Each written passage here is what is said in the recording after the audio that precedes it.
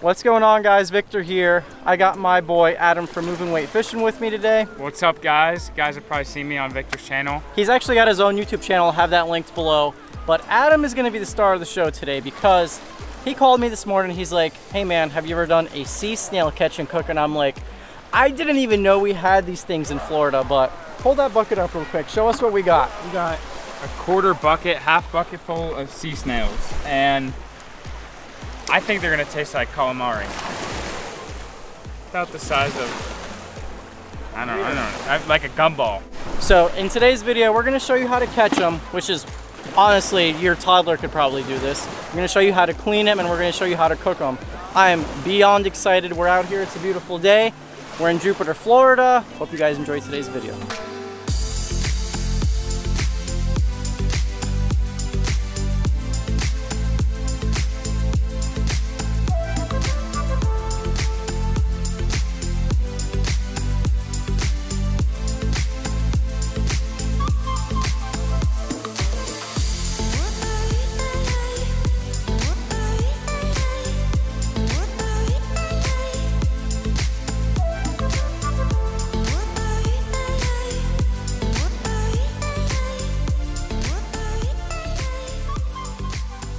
You know, we're in Jupiter right now, but you could do this all up and down the state, and I'm pretty sure all up and down the eastern seaboard, like all the way to New England. Um, these are periwinkle sea snails, I believe. You guys can comment below. Just sounds to so verify. funny, periwinkle. I swear that's It does, doesn't it? I don't play video games, at least Pokemon, or if that was even a video game, don't smoke me in the comments. That's gotta be a, a Pokemon. Or I- Periwinkle? I'm pretty sure it's a plant too, but they're periwinkle sea snails. You guys comment below, verify that. But anywhere you see rocks and tidal zones, which you guys are going to be seeing us go up and down, All right, so I called Victor earlier and came up. I came to the uh, beach club and checked on them, make sure they're here. And it, it was dead low tide, but I think they like the tide a little bit higher because the water has to be crashing onto the rock. And there's definitely more once I came. First rock we looked at, as you can tell, they're literally just, just suctioning on right to the rock, just like that. And they're absolutely beautiful. Look at all the colors on them. This one's pink, pink, black, green, gray, white, and some of them are even prettier than that, but they're loaded on all the rocks here, up and down the beach club. We're gonna be able to get as many as we want. I don't know how many we need, but look at this. Ones like that, we're not gonna keep the really small ones. Let me see, me see. Look at how cool these two are. Black and white. But we're not gonna keep the super small ones like that. But you just kinda scope around the rocks like this and I never thought I'd say this, I'm looking for snails. I've actually used them as bait before though. They're really good bait. You just smash them over the rock and put them on the hook. Oh, look at this one, dude. bro. That thing is sick. I'm telling you, look at all the colors. Look at that thing. For a sec. Look at the two difference. Yeah, it's amazing. Every single one's a little bit different, isn't it? Right. And you guys can find Adam's channel link below, Movin Weight Fishing. I'll have it on the screen here as well as in the description box below. I'm gonna kind of let him like take it away. You guys seem to like him on the channel, so he's gonna be your uh, Yo, no. he's gonna be your snail guy today. Yo, this one's like white. Oh. That one's cool looking. I mean, there's really not a lot to it. It's obviously not hard to do. They don't move. You just take them right off the rock. And and then let me show you actually right after you take them off the rock what they do. See if Victor can get a close up on them. They they'll close their little mouth or whatever it is. Ready? Yeah, go ahead. See that? Look at that. They still have it open a little bit. Look at that. Yeah, I think they like. Oh, dude, he's exposing himself. Oh, just like that. And then you cannot open that up with your hand, fingernail, or anything. Look, it looks like he's got little teeth there, doesn't it? Yeah, it does. That's So crazy. I did a little research. They are omnivorous. They do eat both meat and algae. Really? I think that's that's why they like to sit on the rocks and obviously to eat the algae. And maybe that's why when the tide gets higher, more algae gets on the rocks. Yeah. All right, so Adam and I are gonna see how many snails we can collect in five minutes. We got about a dozen right now.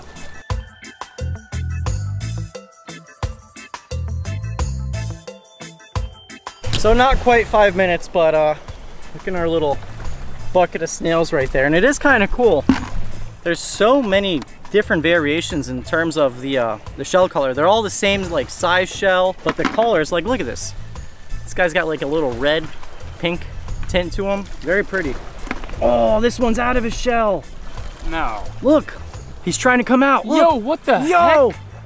There's two of them trying to like attack each it. other. Look, look, look, look, look. He's What crawling. He's scooting. Here, hold. Scheming. Let me see. Well, I don't know what they're called. His little eyeballs. There's uh, like whiskers. Eyes. I don't think that looks so sick. Stop moving your hand. Ooh, look at He him. He is fully exposed, dude. Mm-hmm. I've never seen one come out like that. Usually I get super scared. Right? I guarantee you it tastes like calamari. It looks like it, doesn't it? Oh yeah. So what me and Victor have noticed here is there's a lot more snails on the wet rocks than there are the dry rocks. Mm-hmm. Because I, I think they store water. Because I've seen them like when you take it off the rock, they like spit up water real quick. Yeah. And you got to think when the tide goes out and the tide's low, they're still on the rock. I think they suction cup themselves and preserve all that moisture. Yep, for sure. They definitely take the water inside them. Look at this. It's called money rock. Look at all of them on one rock. They definitely like to wet the water. Definitely like to sit in the water. They sit in the crevice of the rocks too. And look at the size of that snail, That's a dude. unit. That's the ones we're coming after. It's the king periwinkle right there. Look at. Look at the pile. Look at there's a pile right here. Ready? Oh, put them in a bucket. Only those two. Look at this, how sick this one is. Oh, that's a giant too. That thing looks so pretty. I keep thinking, no way they can have any more different colors. It's a not even the colors. Look at the patterns, dude. Unreal. Smash that like button right now. Nobody's doing sea snail catch and cooks on the tube. Nobody. Me and Victor out here, really expanding the expanding the YouTube world. Ah, this was a unit. About one minute of snailing, as it were. Now they're like suctioning to each other.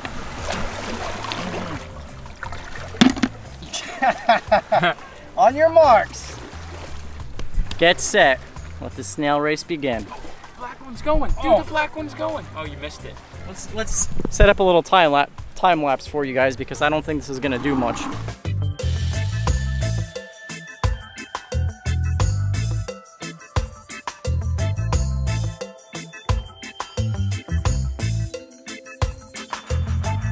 right. So what Victor's telling me to do is we're gonna strain them. Try and get all the salt water out of there. Am I doing all of them? Yeah. We should all be able to You know what? You're right, let's do half at a time. We've never done this, clearly. But uh we're trying it. Yeah, we're rinsing them to get all that salt water off them. And I'm sure they'll be salty just because I store salt in there, you know what I mean? Yeah. And They'll also be just naturally salty. sand, dirt, Yeah. all the grit. Just like you would after you fillet a fish, rinse it off. Kind of clean, clean before you eat it. Even though salt water's super clean. Oh, okay, so this is what we did. We got a we experimented a little bit before we started filming. We took out the biggest of the shells because we started cleaning them, and the small ones are not really worth it. So these are all still alive. We're just gonna bring them back to where we found them. Just like clams and oysters and mussels. They stay alive out of the water for a very long time. So we just have these boiling right here. Three minutes. We haven't really, you know, we've experimented with cook times, two to five minutes, and they still all seem to be coming out tender. So we're just gonna transfer them to a plate right here. Yeah, you don't really notice the difference in the shells after you cook them though. No. No, it's not like a, a crab or a lobster like Right. Adam's saying. You don't really see them turn red or anything. You see a slight um, change in the meat right there at the base of the shell. It turns a little bit red, but that's about it. These are selects. Yeah. Select fleas. These are petites. This is a move and weight video. It's they're petites. They are Palm Beach petites. Or Pompano petites. They're Palm Oh. Beach, they're Palm Beach elites. Wow. Doesn't matter what you use, but it's got to be long, it's got to be pointy and relatively sharp, I guess. There's a name for this. I think it begins with an O. Um, when the snails are on the rock or whatever it may be, they're scooting around, and if a predator knocks them off or something, they have this hard part of the shell. You guys can hear it right there. they use that so that way nothing can suck the meat out. Because if a fish turns it over, they're soft on the inside. They can stick their mouth in there and get it. So what you do is you just flip this around and you should be able to pull it out. Sometimes this breaks off, mm-hmm. but this is where you really need that pin or something. Put it into the meat and just pull it out. And that right there, that's your yield. Ready? Ready? It's good. It's very good. So, if I were to describe it, if you've ever had cl- clams, oysters, mussels, it's definitely got that shellfishy taste. It is gritty. I mean, these are about as fresh as they come. They haven't really filtered any of the sand out. I'm sure if you maybe left them in a bucket, maybe some of that sand would come out overnight. But um, it's very tender. It's not chewy like you would think at all. So what we're gonna do is we got a big pile to go through. We're putting them on this plate, and then we're gonna make two little recipes. But just like that in itself, delicious. That's like the flavor of the ocean, Mm-hmm. Just salty. just salty. It's just like a salty. It's like a salty mini clam. And then we're gonna do a little lemon, garlic, butter, parsley. And then Adam really wanted to try and fry them to do like little calamari bites, didn't you? Yeah, it's gonna be so good with red sauce. But we're also gonna rinse these off. I wanted to at least in the, in the uh, strainer, and it'll get all the sand off. So we, we're gonna do that after we get all of them, Yeah. probably. They don't need to be rinsed, but I think they're gonna be amazing if you don't get little sand bites in there. That's how you know it's fresh. So, all right, guys, Victor perfected this batch. So it's super. These are super easy to clean. Honestly, there's a lot of meat for how of a little snail is. You, this is the hard part Victor was talking about. You pop it back with the needle, stick it in right there, and it pulls right out. Was it there for a sec? Look at that. Very strange. It's not focusing. There we go. Very strange looking. Mm-hmm. But we've got a pile of them here.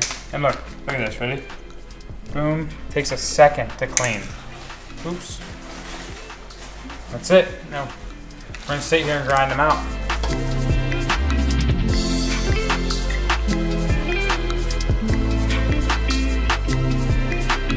All right, guys. So what we didn't realize at first is the smaller ones are so hard to clean because let me show you why. You can't get in there, buddy. You can't pull that little flap back enough to stick the needle in there and pull it out. But they're also live, as you can tell. So we're gonna more than half the half the amount we got. We're gonna go dump them back at the inlet, and they're all gonna live. But here's what we got from the big ones. It's quite a bit, mm-hmm. and it tastes delicious. So, all right, I think we strain it. What do you Go for it. Yeah, strain it. Get rid of any of the uh, sand that's left over. And all that like. I don't know what it is. It, it's like ink, isn't it? It is like ink. You see all that black residue coming out on the bottom? on my Here, hold- finger. Yeah. We got half cornstarch, half flour, garlic powder, salt, pepper. And we're just gonna dredge our little snails in a nice little bath. Their final swim before the oil swim. And this is also gonna make your snails go a little bit longer, you know, because they're tiny. They've got little blueberries. they do look like blueberries. And for anyone at home saying, you guys didn't eat them raw, we did eat them raw. We did. Multiple times. So we know what they actually taste like. Because you can fry anything and it's going to taste good. Guess what they taste like? Seafood. They do. It tastes like clams. Here go in our little snail bites. Nowhere in my life have I seen someone test to see if oil's hot enough, but Adam just goes, Yeah, I got a little bit of water. water. I got a little bit of water on my hands and and that sizzles. That's how you know it's hot. Oh, that is not how you test it, Adam. Is that for me? I'll tell you what, they don't look very good. Like in, No, in they terms of, uh, I bet you they're gonna be that's hot. freaking hot. Yeah, really? Because they just came out of oil. You know it's gonna be so good. Oh my gosh. Mmm, that is good. You're gonna like that one.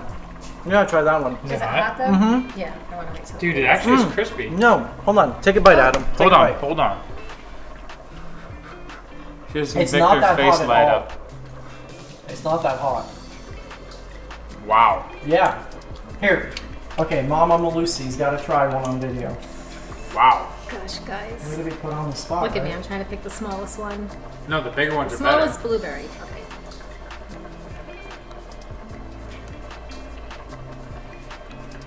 Nice, right? Mm-hmm. A little sandy. A Little sandy. Is it still sandy? I didn't get any sand. I Get some sand. A little crunch. Good. So that the first two I had were fine. That last one, I could taste the ocean. But the first two, they were great. Yeah, sometimes it's literally like clams. You'll get good ones and bad ones, and they're not bad. They're just Yeah.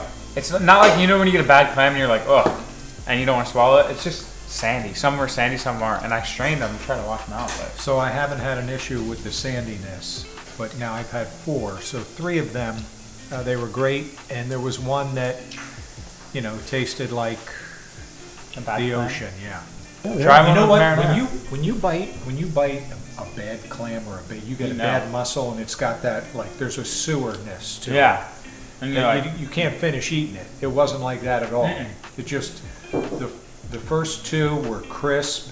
Um, the meat had that. I like it. It's kind of like uh, Florida lobster versus New England lobster. I like the texture of Florida lobster better. yeah. So the texture of this I like. It's a little bit chewy, um, but they tasted very fresh.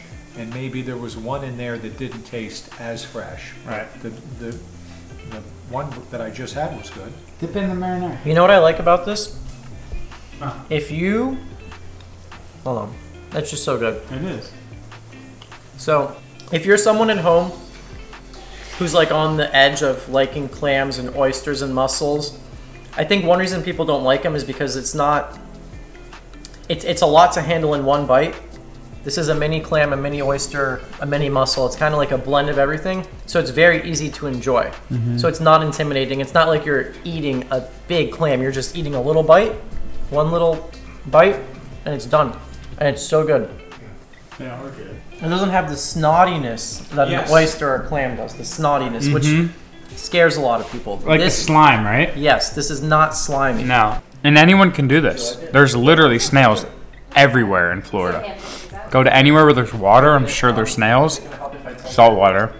I'm talking to the what'd they call you? What did Chef Shark. Chef Shark, the Chef Shark fan. So now we're just gonna do a real simple Italian style with some butter. You gotta do Italian style when you're in the Malusi house. Yeah, come on. A last name like that, Malusi. Come on. Come on now. You think the saute's gonna be better? I think the fries gonna be the best. I'm gonna tell you, I like the raw the most. Really? I You just lie. no. I'm You not. like salty things. You're I- just a I salty just- guy like when you're eating something like this, I I feel like a little kid experimenting. I like I want to really taste what it's about, you know. And I I love raw clams and oysters. Like when we did the New England videos, Brooke and I we were eating them straight out of the water. I don't think there's anything better than that. We're gonna just add some garlic. Yes, it's a lot, but you're in an Italian household, so there's no such thing as too much garlic, right? That's correct. The rest of our snails. it's so saying funny to say that, right? Yeah. snails. We're basically just heating them back through because they're already cooked, you know? And then we're just gonna finish it off with some fresh parsley. Snail shetta. Snail Snail shetta. shetta. Say that six times. Yeah.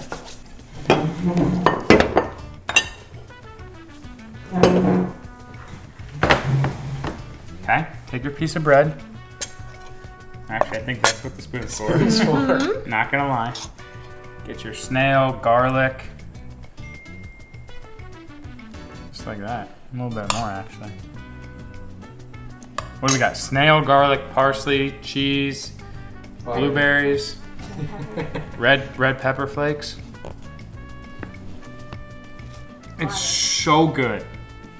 Mmm. Very good. That's interesting. It is interesting. Yeah. Who do you know who's eating snail on top of their snail sandwiches at home? No one. No one. No one. That's why You you ready for this? to Victor. And to Ab for moving weight. You're gonna freak out. Wow. You know what I think of when I think of this, or when I eat this? Hmm. A restaurant one day with all the crazy things we've made on the channel snails on bread, iguana wings, James as the head executive chef. I just have all these ideas in my head, and just doing all these catch and cooks have been so eye opening. You know, yesterday, Brooke and I had bonnet head for dinner. Um, dated before catfish, make a restaurant exclusively for all the lesser known fish, the trash fish, the snails of the sea, which I think would be awesome. Thank you to Adam's parents for letting us uh, destroy their kitchen, get it dirty. I'm gonna clean it up. Adam's gonna clean it up. Um, if you guys haven't already, check out Adam's channel, linked in the description box below. Movin Weight Fishing. I want to thank you guys so much for watching, and I'll catch all you guys in the next one.